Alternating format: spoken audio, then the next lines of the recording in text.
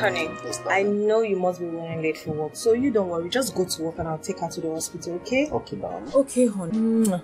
Mwah. Do have a lovely day at work, darling. Yeah, love you, darling. Take care. Love you too. Bye. Auntie, please, you will not take me to the hospital again.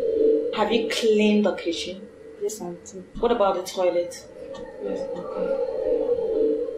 Have you cooked? Auntie, I told you something. My friend, be silly. Now get into the kitchen, prepare white rice and vegetable soup.